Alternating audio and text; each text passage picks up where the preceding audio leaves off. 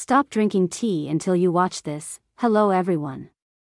While tea is generally considered a healthy beverage and enjoyed by millions around the world, there are three critical things every tea drinker should know.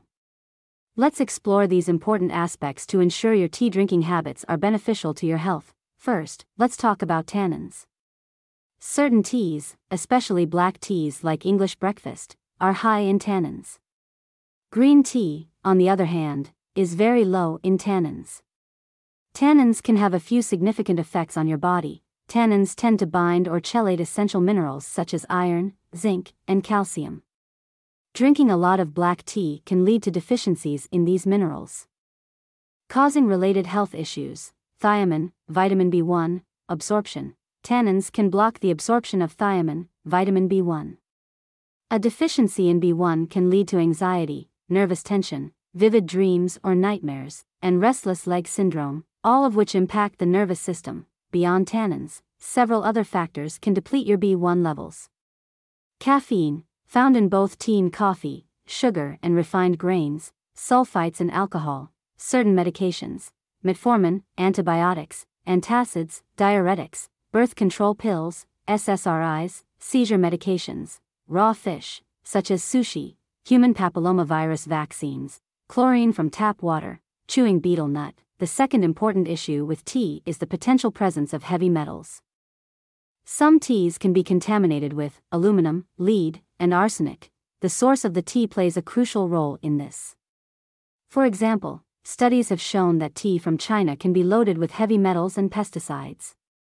One study found 29 different pesticides in Chinese teas, many of which were illegal. Fluoride, the soil where tea is grown is often acidic, which can lead to the absorption of not only healthy minerals but also toxic metals.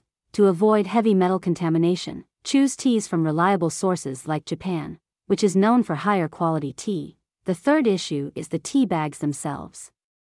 Some tea bags are bleached with chlorine, which can contain a chemical called epichlorohydrin, a known carcinogen.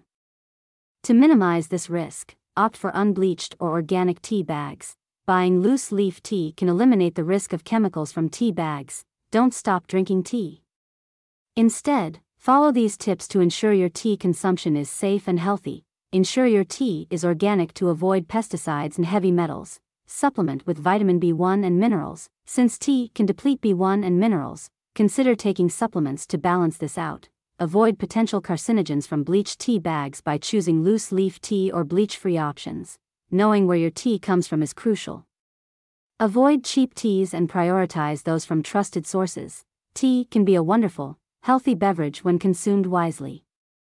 By being mindful of tannins, heavy metals, and the type of tea bags you use, you can enjoy your tea without compromising your health.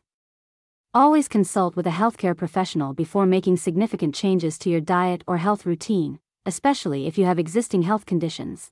Thank you for watching, and don't forget to like, share, and subscribe for more health tips and information on Life Well Live.